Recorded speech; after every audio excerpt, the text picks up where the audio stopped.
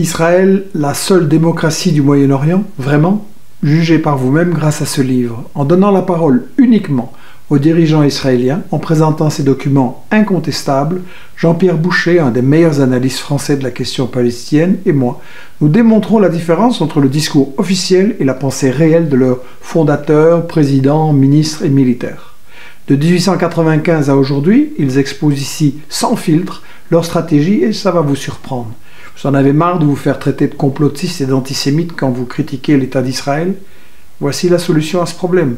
Les dirigeants sionistes disent ici eux-mêmes, noir sur blanc, les crimes qu'ils préparent, depuis le début.